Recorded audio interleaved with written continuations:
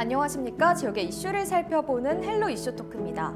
한 아이를 키우려면 온 마을이 필요하다는 말이 있는데요. 최근 전남 여성가족재단이 전남 지역 초등학생 돌봄 서비스의 수요와 이용 실태를 분석한 정책 정보를 발표했습니다.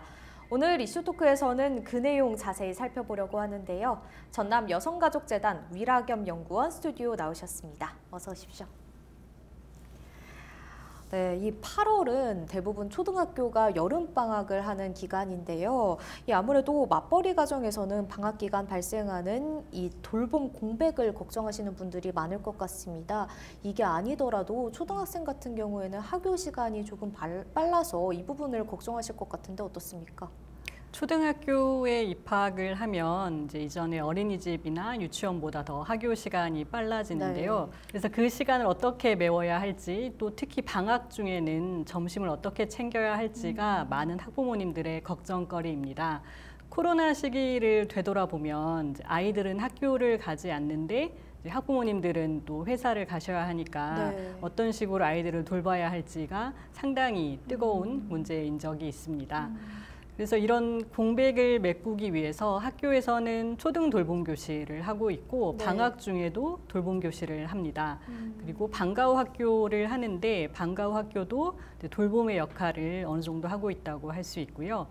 지역 사회를 보면 이제 지역 아동센터 같은 돌봄 시설들이 여러 종류가 있습니다. 네. 그렇지만 여전히 사각지대가 있어서 음. 기존에 있는 자원들을 어떻게 잘 연계해서 이런 사각지대를 없애야 할지 그게 중요한 정책 과제로 남아 있습니다. 음. 네, 또 이번에 발표하신 이 정책 정보 주제가 전남 초등돌봄 잠재 수요 대비 이용 현황과 시사점인데요. 예, 그러니까 이 향후 돌봄 서비스를 필요로 하는 수요자가 얼마나 되는지 또 이에 대비한 지역별 초등돌봄 정책이 어떻게 하는지 수립해야 하는지를 연구하고 또 조사하시는 거죠.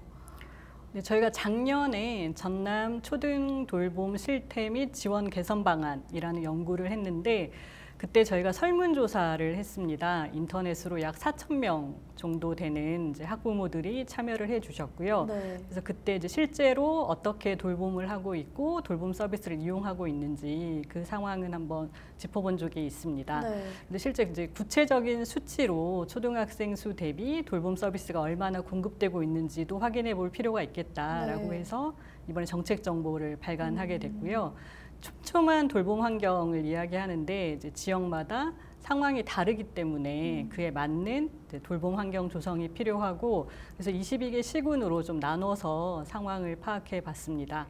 특히 전남은 도시와 농산, 어촌 그리고 섬 지역도 있어서 지역마다 따른, 지역에 따른 차이가 더 클 수밖에 없는데 그 점을 많이 고려를 했습니다. 네, 그렇다면 이어서 이 정책 내용들 하나씩 짚어보도록 하겠습니다. 이 먼저 초등 돌봄을 크게 학교 돌봄과 그리고 마을 돌봄으로 나누던데요. 이 부분부터 설명 들어보겠습니다. 초입의 한 아이를 키우려면 온 마을이 필요하다라고 말씀해 주셨는데 사실 학교도 마을 안에 있고 그런 점에서 학교 돌봄과 마을 돌봄을 구분한다는 것이 좀 음. 어려운 면이 있고 꼭 그렇게 해야 하는지에 대해서도 음. 의문이 있는 상황입니다. 그렇지만 아직 정책적으로는 학교 돌봄과 마을 돌봄이 구분되고 있고요. 학교 돌봄에는 돌봄 교실, 아까 말씀드린 그리고 방과후 학교도 어느 정도 돌봄 역할을 하고 있고 또 늘봄 학교가 도입되어 있습니다. 네. 어, 늘봄 학교는 돌봄 교실과 방과후 학교를 합친 형태라고 볼 수 있는데요. 음. 이제 수업 전이나 저녁까지 아이들을 돌보고 또 프로그램의 질을 높이고 다양화하겠다. 이것이 늘봄 학교의 취지입니다. 음. 마을 돌봄에는 크게 이제 지역 아동센터, 다함께 돌봄센터, 방과후 아카데미가 있고요. 네. 지역 아동센터는 상당히 역사가 오래된 기관이고 음. 가장 많은 수가 있습니다. 다함께 돌봄센터는 비교적 최근에 만들어지고 있는데 지역 아동센터가 소득 기준이 있다면 다함께 돌봄센터는 누구나 이용할 수 있다는 차이가 있습니다. 이 지역 아동센터와 다함께 돌봄센터는 보건복지부에서 관할을 하고 있고요. 네. 또 여성가족부에서 하고 있는 사업도 있습니다. 방과후 아카데미라고 해서 주로 청소년 수련원에서 저소득층 아이들을 대상으로 운영하는 방과후 돌봄도 있습니다. 네, 또 앞서서 잠깐 언급을 해주셨는데 전남 지역에는 22개의 지자체가 있습니다. 어, 지역마다 이 초등학생 수도 다를 것 같고요. 그리고 이에 따라서 돌봄 서비스의 자원도 달라질 것 같습니다. 어떻습니까? 전남의 초등학생 수가 8만 명 정도 되고 이게 10년 전과 비교하면 12,000명이 줄어든 음. 상황입니다.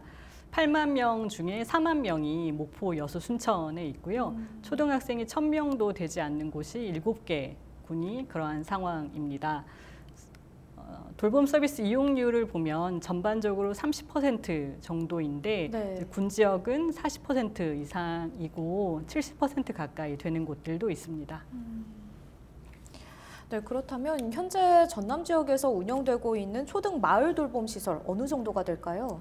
지역 아동센터, 다함께 돌봄센터, 방과후 아카데미가 있다고 말씀을 드렸는데요. 네. 지역 아동센터는 22개 시군에 다 있고 370개소 정도 됩니다. 다함께 돌봄센터와 방과후 아카데미는 최근에 만들어지기 시작해서 15개 시군에만 있고 한 25개에서 35개 정도 운영되고 있습니다.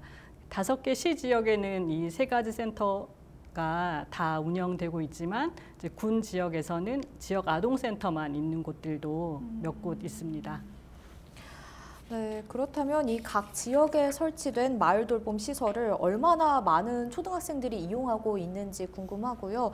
또 더불어서 이 시나 군 단위에서 보여지는 다른 차이는 따로 없을까요?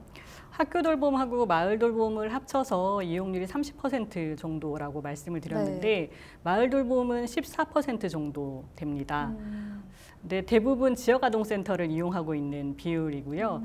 아까 마을 돌봄이 14% 정도 이용하고 있다고 했는데 이제 시- 군 지역에서는 10명 중 3명, 30% 정도가 지역 아동센터를 이용하고 있는 곳들도 있습니다. 네, 아무래도 올해 각 학교에서 이 늘봄 학교가 시행이 됐기 때문에 학교 중심의 돌봄이 많을 것 같다라는 생각이 드는데 그럼에도 불구하고 여전히 마을 돌봄의 비중도 크다고 봐야겠네요. 전남에서 학교 돌봄과 마을 돌봄의 비중이 6대 4 정도입니다. 네. 늘봄학교가 전남에서는 작년부터 시범 사업을 했고 또 음. 올해 진행되고 있어서 이야기가 많이 되고 있는데 6대 4 정도라고 하면 마을 돌봄도 상당한 비중을 차지하고 있는 것이고요. 음, 네, 군 지역에서는 절반이 넘는 곳도 있습니다. 이런 상황에서 늘봄 학교처럼 학교 돌봄을 계속 늘려가는 것이 과연 바람직할지 이 부분은 특히 전남에서는 더 고민이 필요할 것 같습니다. 네, 그렇다면 학교 돌봄과 그리고 마을 돌봄 이외에 초등 돌봄이 이루어지고 있는 현황이 따로 있을까요? 학교 돌봄이나 마을 돌봄이나 모두 시설에서 아이들을 봐주는 형태이고 그렇지 않다면 개별 가정에서 아이들을 돌봐야 한다라고 생각을 하는데 실제로는 이제 이웃이 함께 아이들을 돌보는 경우들도 있습니다. 여러 가족들이 함께 아이들을 돌보는 형태인데요. 이게 이제 자발적으로 소규모 공동 육아로 이루어지지만 또 정책적으로도 지원을 하고 있습니다. 네. 마을 공동체 만들기 사업 같은 경우에 이제 돌봄을 주제로 해서 마을에서 어른들이 함께 마을의 아이들을 돌보는 이런 환경을 지원하고 있기도 하고요. 긴급하게 돌봄이 필요하게 되었을 때 또 아주 짧은 시간, 이를테면 아이가 학원과 학원 사이의 시간 동안 어떻게 시간을 보낼 것인가를 생각하면 이 부분은 시설보다는 좀 주민들이 자발적으로 육아를 하고 있는 아이들을 돌보고 있는 그런 환경이 더 필요하다고 할 수 있습니다. 품앗이라고 해서 서너 가정들이 함께 아이를 돌보는 것에 대해서 일정 활동비를 지원하는 사업도 있고요. 이렇게 사업비를 받지 않더라도 자율적으로 운영되고 있는 공동 육아 모임들이 많이 있습니다. 작년까지 여성가족부에서 주민주도형 돌봄 공동체라는 사업을 했는데 네. 이 사업이 이제 이렇게 소규모로 이루어지고 있던 공동 육아를 지역 사회까지 확장을 해보자 이런 것들을 할 수 있는 어, 공동 육아 모임에 지원을 하는 그런 사업이었는데요. 실제로 그 전까지는 여러 부모들이 자기의 아이들만 같이 돌봤다면 이제 그런 돌봄이나 프로그램을 지역사회에 개방을 해서 더 많은 아이들이 함께 참여하는 형태였습니다.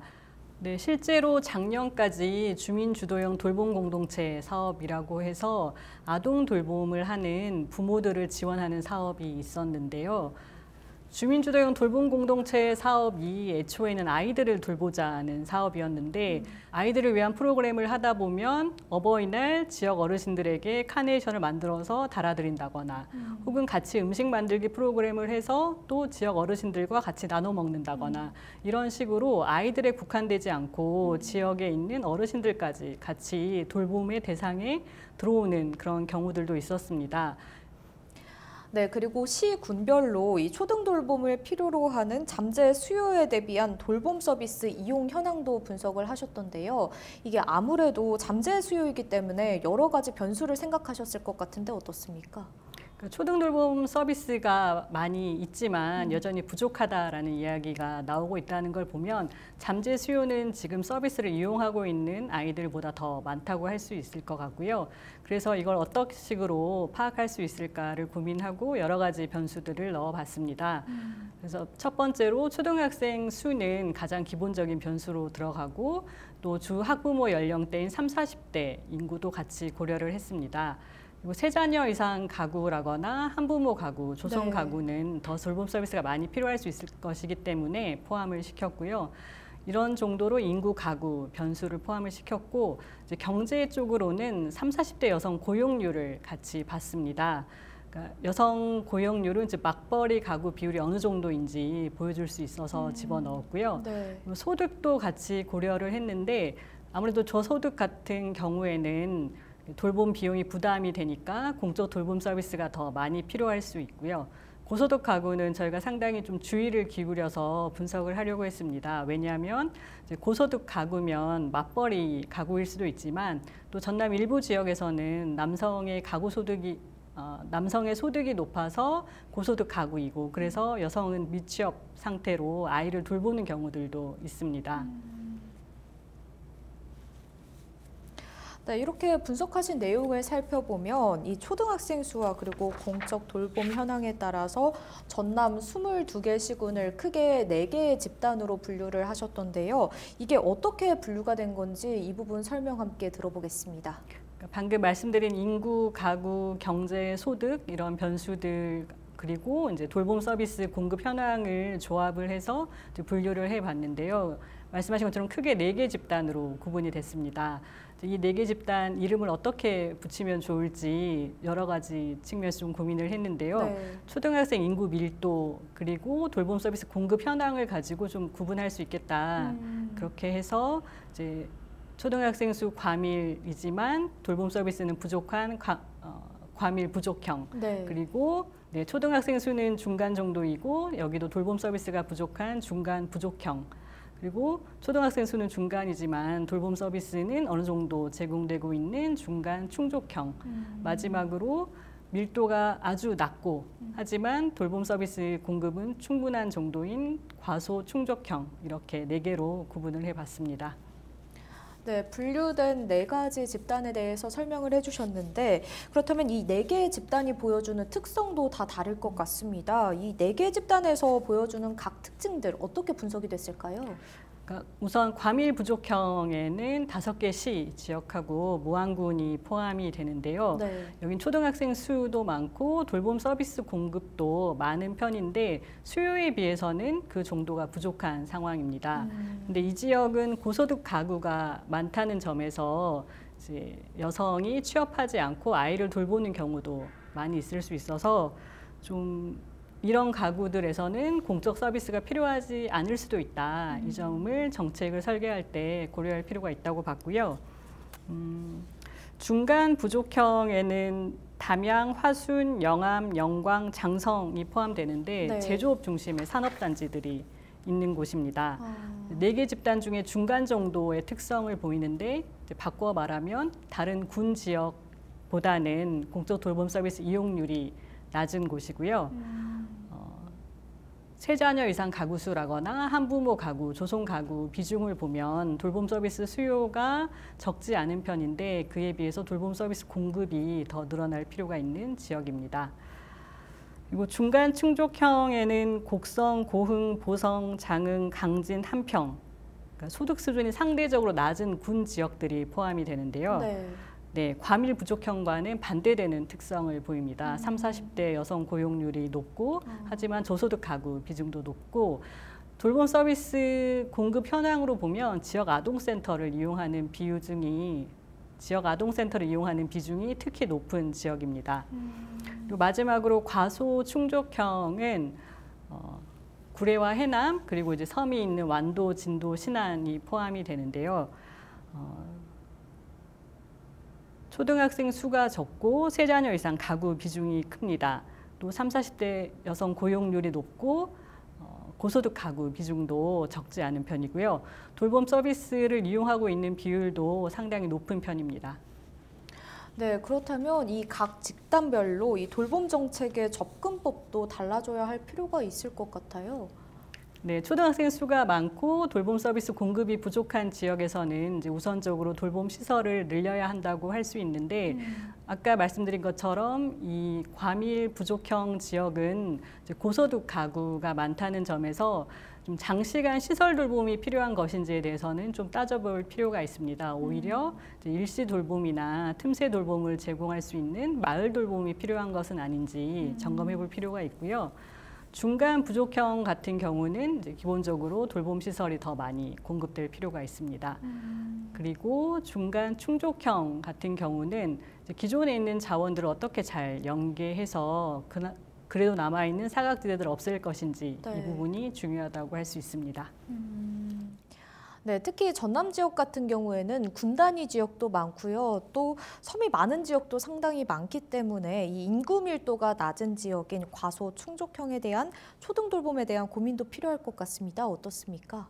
그러니까 과소 충족형은 돌봄 서비스 수요에 비해서 공급은 적지 않은 지역인데요. 근데 말씀하신 것처럼 섬이 많고 이제 초등학생 수가 아주 적고 밀도가 낮은 그런 지역입니다. 그러면 이렇게 흩어져 있는 아이들을 어떻게 돌볼 것인가의 문제가 나오는데요. 그래서 마을 단위라거나 지역 단위에서 돌봄 체계를 만들어가는 것이 좀 다른 지역과는 다르게 필요한 정책인 것 같습니다.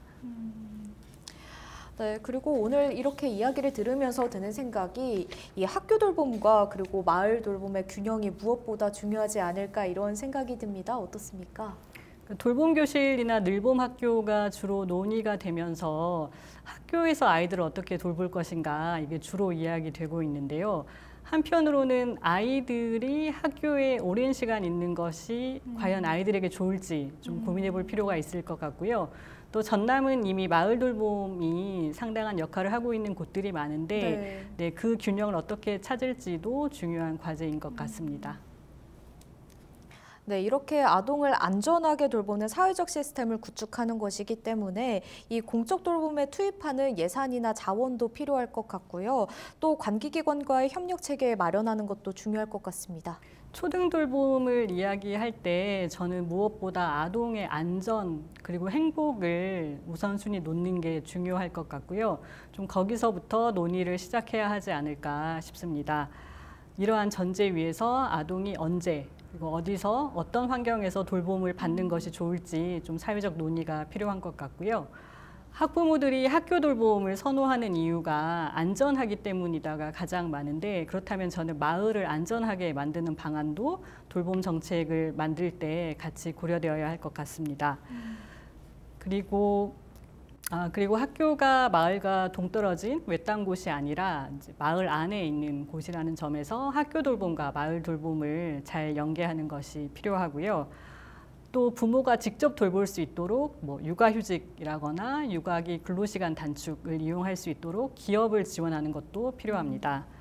마지막으로 돌봄은 어떤 시설 안에서 어른들이 제공하는 것이다. 이렇게만 생각하지 말고 아이들이 자율적으로 안전하게 지낼 수 있는 공간과 시간을 만들어주는 것도 중요하다고 봅니다.